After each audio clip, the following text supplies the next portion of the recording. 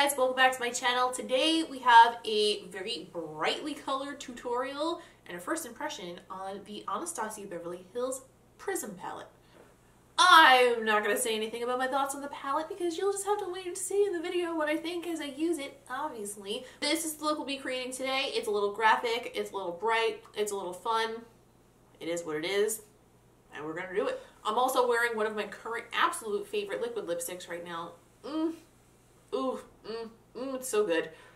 But before we dive into this tutorial, have you subscribed to my channel yet? Because if you have not, um, go ahead, take one second. It takes just one second. Click that subscribe button down below. Because hello, I mean, look how much fun we're going to have. Look how much fun these eyeballs are. Do it. It's, it's for, this is for you, not for me. All jokes aside, please don't forget to subscribe. Please don't forget to give this video a thumbs up. And let's jump in, see what I think of the Anastasia Beverly Hills Prism palette. All right, here we are, the Anastasia Prism palette. I have not even opened the box yet. It came yesterday and I just put it on the dining room table and I didn't even look at it. I was just like, you know what? We're going to deal with that tomorrow. So this is like 100% like full on fresh first impression. It kind of flows with the theme of the modern renaissance and the subculture palette because it has that velvet exterior on it, but it has this incredibly chic, sleek sort of like semi-minimalist embossing to go along with the prism theme. Loving it. This is right up my alley. Like this is my aesthetic right here. So I am all about the packaging. Um, I do find that things that have like a velvet coating on them like this kind of get a little bit little fucking dirty right away but uh, being that it's black it might hold up a little better the modern renaissance being that pale pink that shit looks so dirty right away um one of my favorite palettes and I like bring it with me everywhere anyway, but it does, it looks scrubby as fuck. And here we have the inside of the palette. Um, I'm sure that you guys have seen swatches all over the internet, so I'm not going to be doing any arm swatches today. And on top of that, I don't think that they're terribly representative of how the palette works, so why waste time? Let's just jump in to how they look on the eyeballs, you know what I mean? I think for a transition, I'm going to go in with this shade Eden, which is kind of like a peachy pink. Tapping the brush in, uh, initially I do have some kickback. Uh, obviously, we know that Anastasia shadows kick back a little bit, not surprising. I'm gonna pop that right into the crease and start blending out a transition with my Sigma E40 blending brush.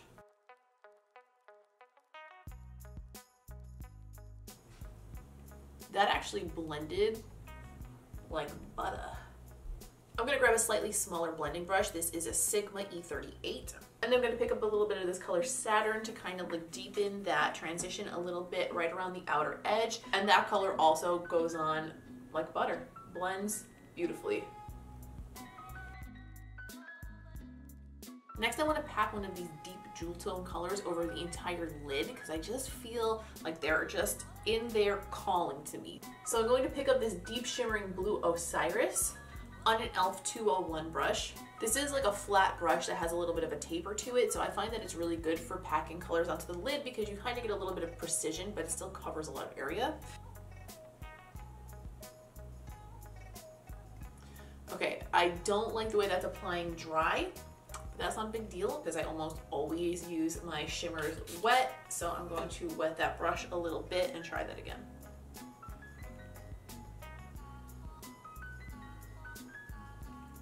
Much, much better.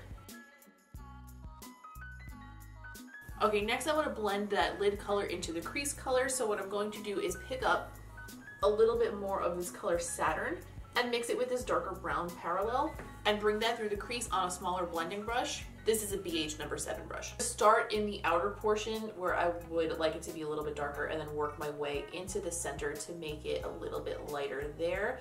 Um, when in doubt, always put your brush down where you want it darker first because that's where you're to deposit the most color. Obviously, I feel like that's too obvious that you don't need to know that, but hey, whatever.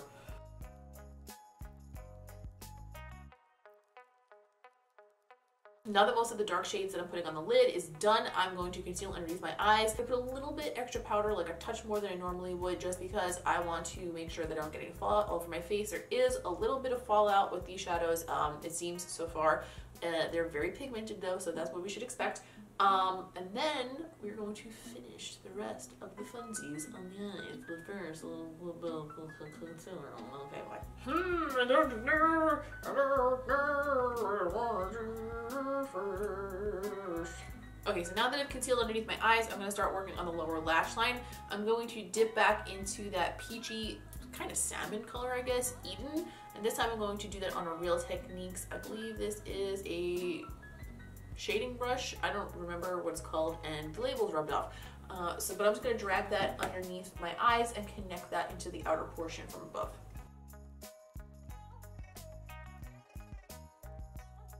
Next, I'm gonna darken up the outer portion of the bottom lid too. Um, but I don't think I wanna do it with Osiris because I wanna try a couple of the shades in here, but I still wanna keep it that deep jewel tone.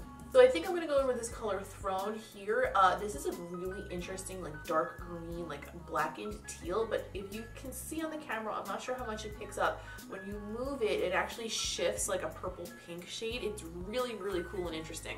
So I wanna use a little bit of that shade underneath the lower lash line, and I'm going to do that on the brush that came with the palette. This is the short like shader side of that brush. And again, I'm gonna wet that just because I find that these types of colors work a little bit better when they're wet.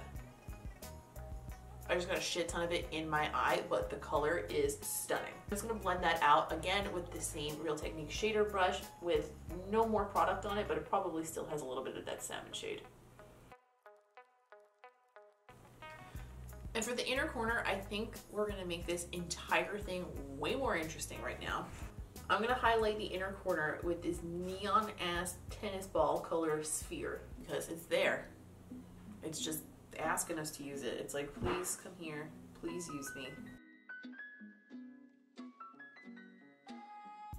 Ooh, that is bright and it is pigmented. Dude, that's dope. That color is so dope. Okay, now that that green is down, I have a picture in my head of what I want to do um, we are going to do like a really fun graphic winged liner with this that kind of matches that pop on the inner corner. we're gonna start it off basically with a regular black wing. I'm gonna grab old trusty Kat Von D tattoo liner and trooper. What else would I be using? Is there, can a video ever go by without me dropping all my shit on the floor? Ever? Ever one time. One video. I'd like to not drop shit on the floor for one video.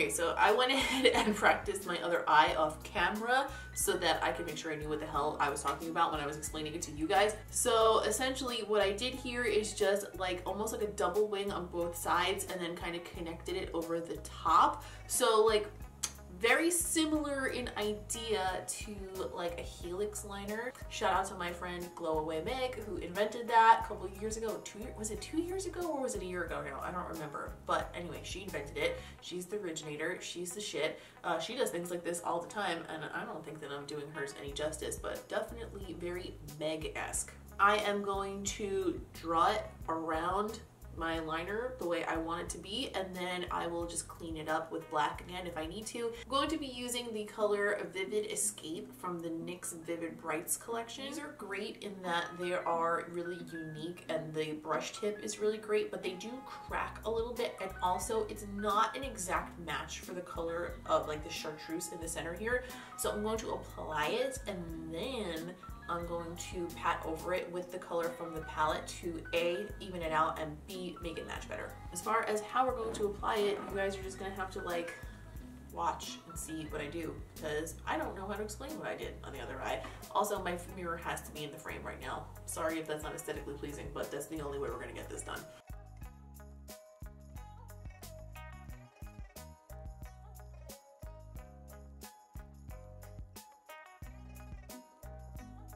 Okay, now I'm gonna pick up a Sigma E06 winged liner brush and just use that to pack a little bit of the color sphere over where I put that bright green liner down.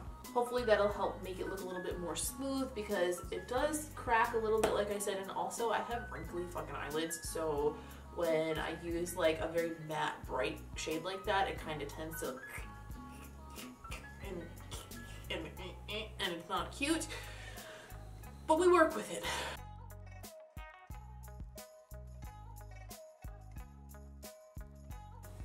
I've been pleased. I'm going to use the Urban Decay 24-7 Waterline Pencil in the color Walk of Shame. Okay, I went ahead and popped on Roller Lash from Benefit, which has been one of my recent mascara favorites, and also the Lion Hearted Lashes by Cake Face Beauty and Kim Tai. Okay, so initial thoughts on the Anastasia Beverly Hills Prism palette. Um, the colors blended beautifully so far. Uh, the colors that I used in my crease, honestly, they like blended automatically. Do you know like when you get a shade and you just put it down on a blending brush and it's just like there and it's blended. It was kind of one of those situations. It reminded me quite a bit of the Shade and Light eye palette from Kat Von D. Like those kind of blend themselves, if you will. I'm definitely wrong about the black holding up as far as like staying clean longer because I already have eyeshadow on the black of the palette so that that is what it is. The more jewel tone shades are absolutely stunning but I do recommend using them wet. Like I said a thousand times in every other like first impression that I think I've ever done. Like I tend to use all of my shimmers wet. I find them all to work better that way. So uh, that's pretty much par for the course. Once I put them on wet though, holy Jesus, like holy jewel tones Batman. Like they're so beautiful. And that color sphere, that bright, bright chartreuse, chartreuse, chartreuse, that bright chartreuse green, just, just a ball of pigment that just blended over that jewel tone and into it just mm, perfectly. Really, really like that. Another major positive for this palette is that while it has all of these interesting colors, the brights, the jewel tones, whatever, it also has everything that you might need to create like a normal look. So even if you want to use something like this, something like this, something like this, like I did, uh, if you want to ground that with like colors that you can like blend it out with, darken it up with, all of that is available in this palette too. It has multiple transition shades. It has a black, it has a dark brown, it has like a bone color shade that you can kind of blend things down with if you need to. This I could pop in a suitcase and know that I have a bunch of looks available to me without having to bring anything else. That's not a standard that everyone holds a palette to, but it's definitely a standard that I personally hold a palette to. And if you do anything where you bring your makeup places,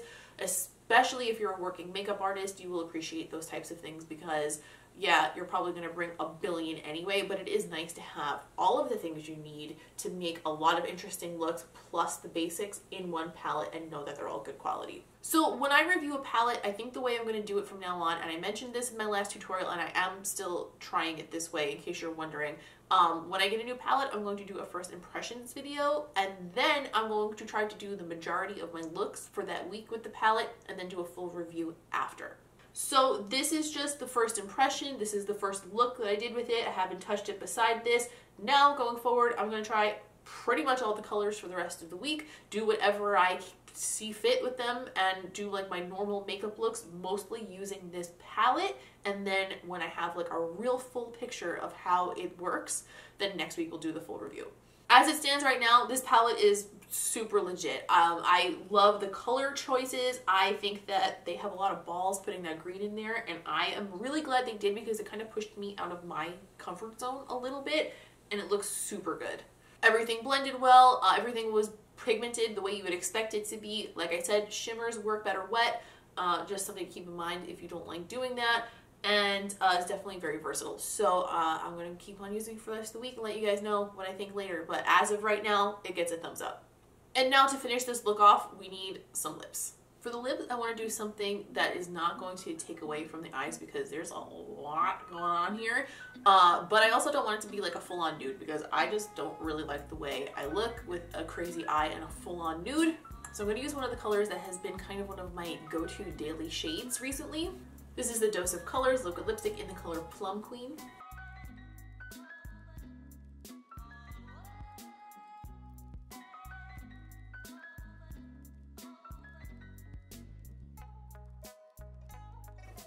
And this is the finished look.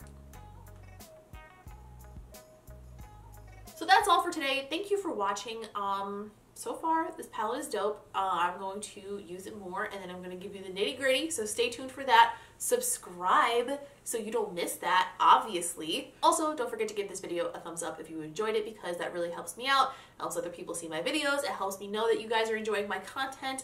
Helps me keep going. It helps me keep the wheels turning over here. Leave me a comment down below and let me know what kind of the look you'd like to see when I do the update on this palette because I will give a full review, but I'll also probably do another look along with that too. And maybe, just maybe, that'll be the look I do in next week's video.